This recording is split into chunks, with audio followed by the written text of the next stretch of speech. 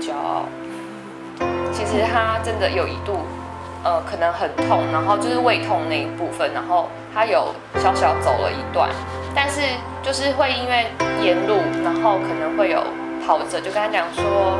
加油，快到了，然后或是就是加油，你再跑跑一下，你再坚持一下，然后他听到他们的鼓励，他就会继续跑起来。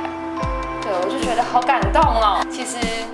我知道他很很痛很不舒服，但是他还是就是坚持跑完。对，可是就是真的是看他顺利的完成，我我真的觉得很骄傲。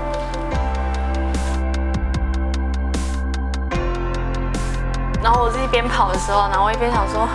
，Kelly 只是超人吗？我都不会累吗？我真的这样想哎，我就觉得我太厉害了吧。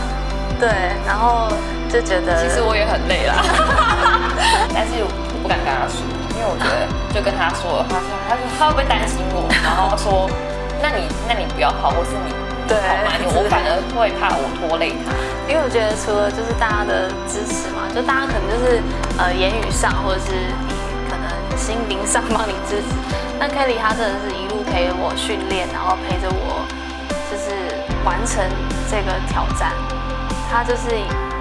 一开始，然后他还背着包包，背着我的水补给品，然后一路帮我拍照，然后而且他一路帮我加油打气，对我就觉得很感动。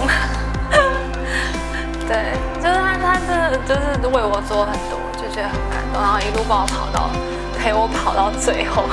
他就一直鼓励我，你知道，然后那时候我就我就是。一边跑，因为我我我都不太能讲话，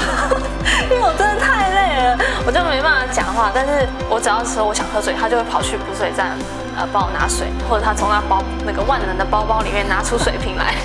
他说，嗯，我想吃点东西，他就拿出拿出他的那个对能量胶来帮我补给，然后一路上鼓励我，然后帮我看时间，这样，